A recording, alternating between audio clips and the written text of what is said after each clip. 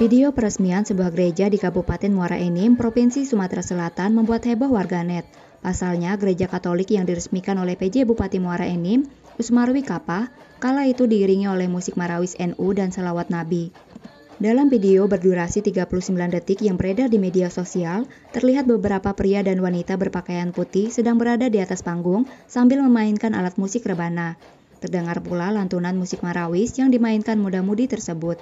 Sementara pada videotron di belakangnya terpampang tulisan acara pemberkatan dan peresmian Gereja Katolik Paroki Santo Yosep di Lawang Kidul, Tanjung Enim, Muara Enim. Menanggapi video viral tersebut, Kapolres Muara Enim AKBP Andi Supriyadi tak menampik adanya kegiatan peresmian gereja itu. Bahkan bukan hanya PJ Bupati, tapi ia sendiri turut hadir dalam acara tersebut. Ia mengatakan kegiatan itu murni bertujuan untuk meningkatkan kerukunan antar umat beragama yang dalam upaya menjaga kerukunan dan persatuan NKRI.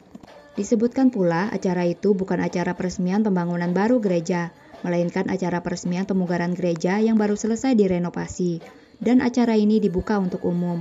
Kegiatan yang terlihat dalam video itu pun digelar di halaman gereja, bukan di aula tempat umat Nasrani beribadah. Ia pun berharap kegiatan itu tidak digoreng atau disalahartikan sehingga dapat memicu perpecahan. Andi menegaskan tidak ada kegiatan ibadah maupun mencampur adukan kaidah ajaran agama masing-masing dalam kegiatan tersebut.